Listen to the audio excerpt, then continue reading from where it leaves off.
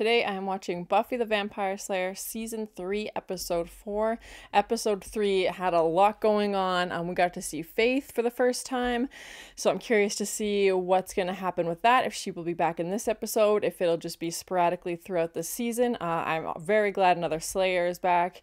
Um, Buffy is also back in school, so that's good. It seems like things are progressing and hopefully her life can go back to whatever normal is in Sunnydale. And then Angel is back. We saw that in the final few scenes of episode three. So, yeah, very curious to see what's going to happen with him returning, what his memories are going to be like, if he'll talk to Buffy. Um, so I'm really excited to watch this episode. So thank you so much for sharing in this first time watching with me. If you have any other suggestions for TV shows you think I should watch, please comment below. And if you're ever curious about what gear I use or what's on the bookshelf, I've included a link in the description. And if you want to have a say in what movies or TV shows I watch, be sure to join Patreon. And as always, please like, comment, and subscribe to this channel and check back often for more awesome content. Going back into the wombs of time. The rabbit could not. Ah! Hey, uh, maybe we should try. Is that Oz? Is this the nights that like Oz is turning? Oh man. Reporting for Ozwatch. Yeah. Aw, they all take turns. That's so cute. Um, cause I'm still getting used to half a Monty. Oh, good. Hello. Half? You and Oz? Which half? Wouldn't you like to know? Hello. Over there a little bit. I'm good. He's gonna fall asleep, isn't he? Xander, you had one job. Catch kids doing the ditty out here? The ditty. Who talks like that? Funny. And quite a muffin. Quite a muffin, honestly. That crunchy munchy stuff on top. Hello. Yeah, I feel like Oz got out. Just For basically. Hey. Okay. Hey, Quite the conversationalist. Okay. be Summers reporting for sanity. This is the guidance counselor? Is he smoking weed? I mean, everyone has problems. Everybody has demons, right? Haha! More than you know. Be fought. People can change. You can change. Does he know something? Now, your turn. Let's start with why you ran away. I was kicked out of school. My mom kicked me out. Bore me. I had to boot my boyfriend to hell. Mm, I think it's the last thing she wants to talk about. Tim? And then he. Changed. Haha! Most definitely. You got mean. You could say that. Yeah, that'd be putting it mildly. Another werewolf roaming the woods. Perhaps. Perhaps it's something else entirely. It's okay. Maybe it was Angel? Ah? Um, He would be hungry, I imagine. Get away from me. Aw, poor Oz. Yeah, he thinks he's attacked this guy now, so he's like pulling away from Willow because he doesn't want to hurt her, obviously. And also, I don't think he wants her, her to see him change like that. Yeah, maybe it's Angel? Hmm. Because there was werewolf attacks before, or they thought they were werewolf, and they found out it was Angel, so maybe that's happening again, now that we know he's back. Yeah, it's Angel! Oh my god! Yes! Yes, I called it. Yes. He doesn't recognize her? Oh god. Oh, bonked him. Oh god.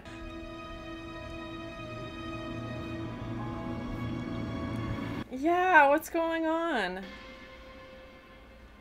Something obviously happened while he was trapped in hell, so yeah, maybe he doesn't have any memories or they take a while to come back, I don't know. We're doing crime here. You don't sneak up during crime. Doing crime. Big, sharp teeth and vicious. You want to go back to the car and wait? Like a vampire. Oh, is there gonna be like a neck bite? I don't think this was the reunion she was hoping for. It's yeah. Oh, her ring's gone, but there's like a like a body outline or an explosion or something it looks like on the ground.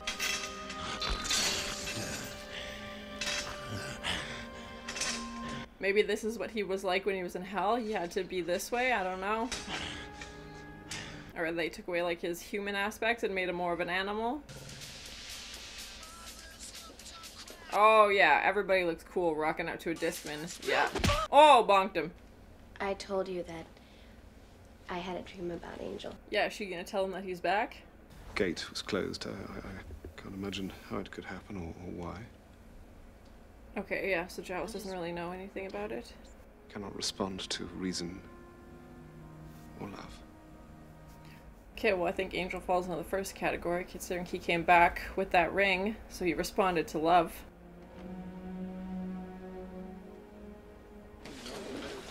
Yeah, if Angel was in like this like survival mode and he became more of an animal and lost his humanity after, you know, uh, suffering years, hundreds of years of torture, that is just four cubes of jello. I hope you realize I don't actually know these people. I just.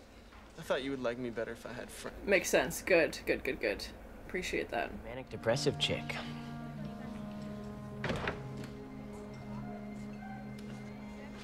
Yeah, she's like, what do I do about Scott now that Angel's back? Yeah, hmm, interesting. Be careful, Buffy, be careful. Uh, I feel like that's gonna break. But happy. Ah, frick, I feel like Angel escaped. Nothing. Kiss me. Glowing green. Drink that, did you? Drink it. You know I didn't. Debbie, what's going on? Why would you drink that? What? And don't don't say anything. Is he dead? Listen, and that's that's your thing, right? I feel like he's dead. I just I need to talk to someone. Oh, poor Buffy. Yeah, he's dead. I knew it. He didn't turn around. Yeah. Oh God. He's missing an eye. Yo, Angel's attack you, Sunnydale. Yep. Yep. Yep. Yep. Yep. Yep. Yeah. What's this green stuff? Okay, I am way, way past that now. What? You see? Oh God. Stupid grating voice! Is he a werewolf also? And that green stuff was helping him?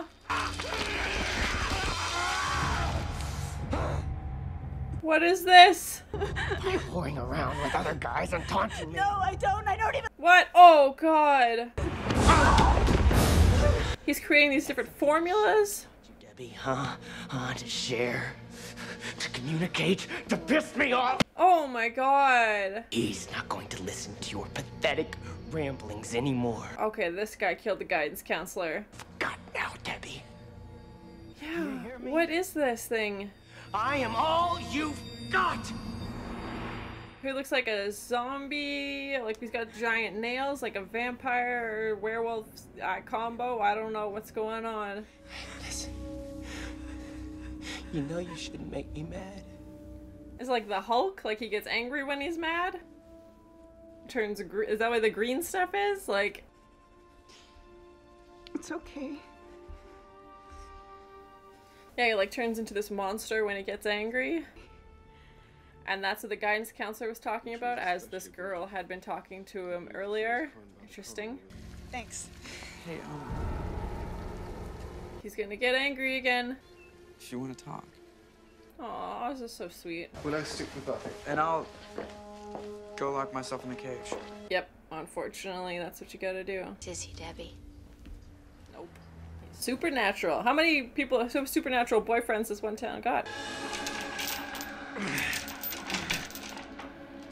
Okay, yeah, Angel didn't get out, obviously. It was that Pete guy. Oh, and here we go. He's free now. Who's gonna be next? That's the question. Yep. Another staff member at Sunnydale down. Since when do you touch my girl? Yeah. Oh, werewolf versus Hulk? I don't know what creature he is. When that sun sets, You won't be alive to see it. Well, I think one of you that'll be true for. something's gonna happen that you probably won't believe. Oh, here we go. Or you might. Monster versus monster. Yeah, exactly. Oz is trying to warn him and be like, uh, I'm a va- I'm a werewolf. Oh, well, there goes that door. He has the I think she was broken before this. Oh, might be right about that. Oh, right through the table. Did you kiss that whore? Whoa! Oh my god. Yeah, what? Oh, on the stairs. Ah. What's gonna happen when Oz changes? Yeah, exactly. It's like, well, I wasn't expecting that. Yeah. Oh, now Oz is loose, Angel is loose, whatever this thing is is loose. Sorry. All right, bloody priceless. Shot Giles. Oh, shoot. Yeah, there goes Oz. Man, these books must be reset so many times. They're always falling over. Oh my god, he's so agile. But messy. Also messy.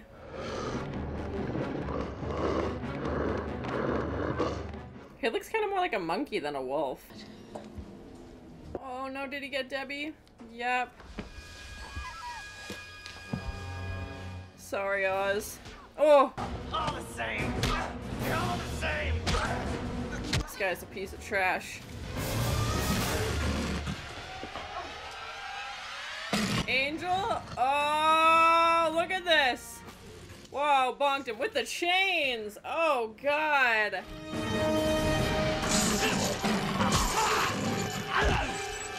A lot of monster on monster fighting in this one. Ugh, yeah, that's, yep, he's done. Yep, yep, yep, that made a very squishy sound. Oh, bye, Pete. Did he escape to help Buffy? He knew he, she was in trouble? Buffy? Yay! Oh, yay, he's back. Oh.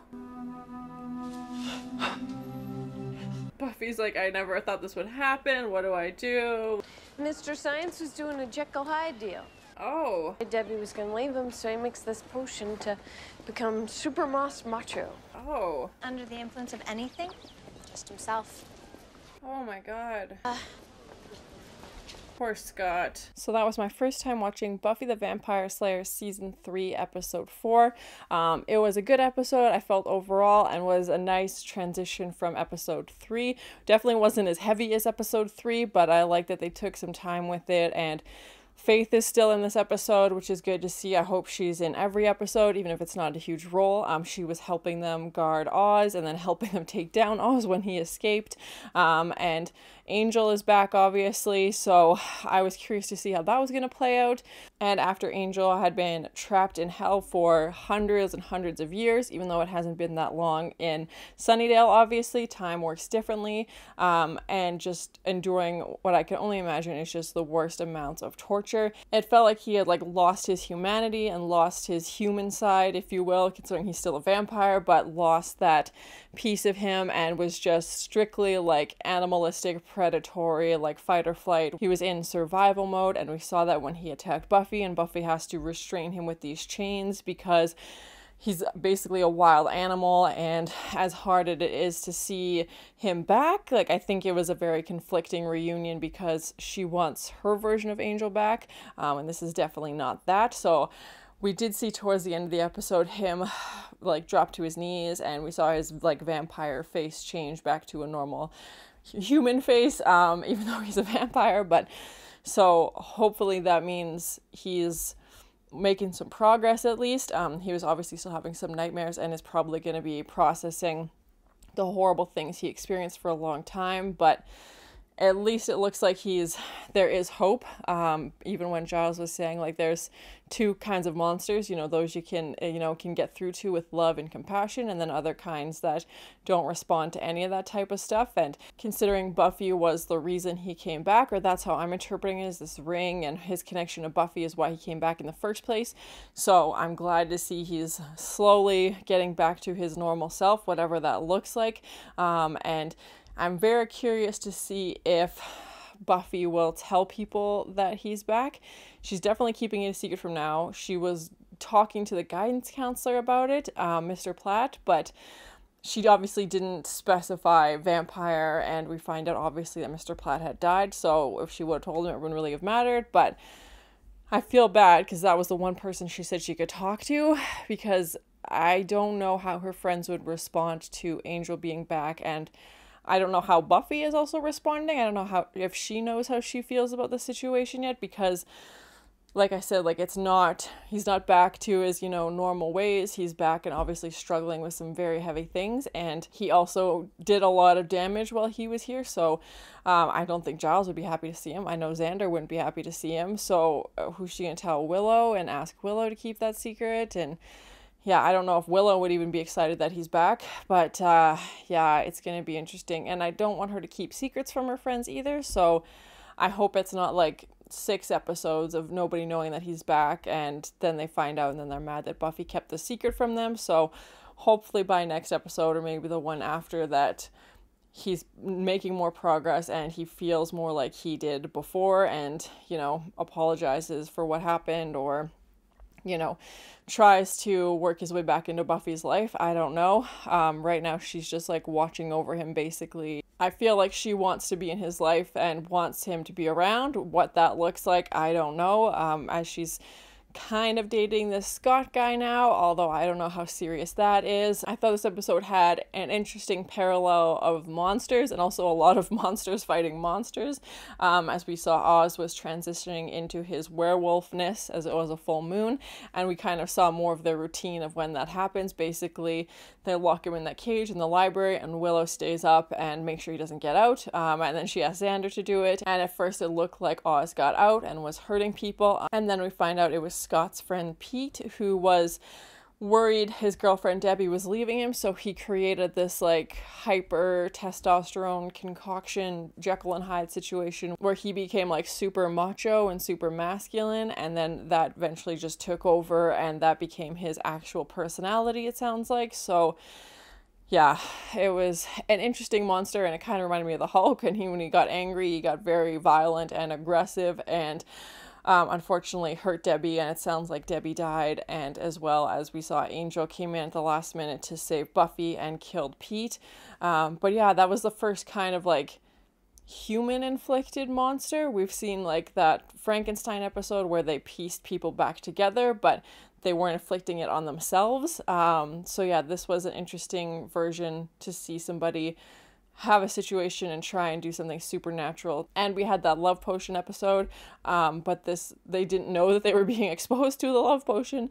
This was this guy deciding I want to make a change in my life and I'm going to use whatever chemicals I can come up with in the science lab, basically. And yeah, it was very interesting. And then when Debbie is mentioning she's been talking to the guidance counselor, the way he's describing what we now know as Debbie and Pete's relationship also sounded like Angel and Buffy's relationship. Um, he's like, Oh, did he start to change? And Buffy's like, Yeah, like definitely wasn't the person I met and I knew and but that was obviously also a situation with Debbie and Pete as Pete started to change um, and then we saw Buffy briefly talk to the guidance counselor unfortunately staff turnover in Sunnydale is very high hopefully they get a new guidance counselor because I think that would be a good thing for her to continue. Um, I don't know that vampire slayer therapy is a thing. Maybe she leaves out that those specific words, um, but hopefully she can find someone to talk to if it's not her friends. If she doesn't feel comfortable doing that, there's a new guidance counselor she can talk to or somebody because clearly she's still dealing with a lot now that Angel is back. And I think she had just processed saying goodbye to him and letting go of him and whatever that looks like because even giles is like no one's ever come back. And she does like the hey if my friend like hypothetical situation when she's really talking about herself.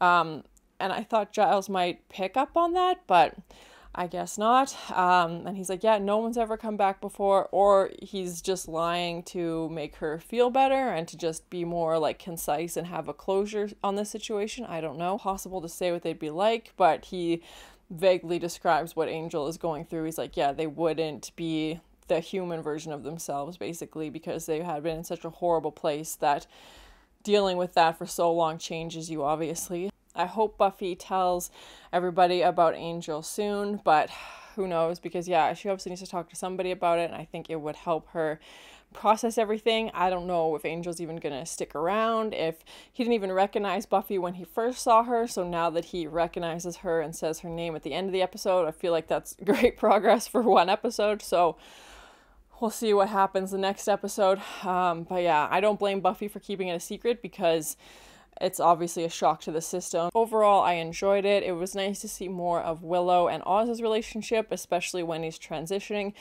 She doesn't want to hurt him, obviously, but he's also hurting people. And yeah, we saw um, Faith shoot him with that tranquilizer gun to put him back in the cage. Um, but yeah, it was interesting to see that like monster on monster, like when he's fighting um, Pete, and then we saw Angel also fight Pete. Uh, I'm glad Angel showed up at the last minute to save Buffy. So again, I feel like if he's compelled by love to do things, that proves that he's not the worst kind of monster, as Giles was explaining. So I feel like his actions and how much he cares about Buffy show that there's hope for him yet. I was wondering if they would bring Oz's werewolfness back into the show, as we found out he was a werewolf last season. So it was interesting to see how they deal with it and to see him transition in this. And then even Pete and Debbie's relationship, it makes me wonder how many other supernatural couples are in Sunnydale, um, considering Debbie was dating Pete, knowing that he had this problem and wasn't telling anybody about it. I'm curious to see what's going to happen in the next episode with Angel. That Mr. Trick guy wasn't in this, so I'm assuming he's gone now. I'm glad Faith's still around. Um, but thank you so much for sharing in this first time watching with me. If you have any other suggestions for TV shows you think I should watch, please comment below. And as always, please like, comment, and subscribe to this channel and check back often for more awesome content quite a muffin, honestly. This is the guidance counselor? Is he smoking weed? I had to boot my boyfriend to hell. Like a body outline. It looks cool rocking out to a Discman. That is just four cubes of jello. Yeah, what's this green stuff? It looks kind of more like a monkey than a wolf. Monster versus monster. He's creating these different formulas.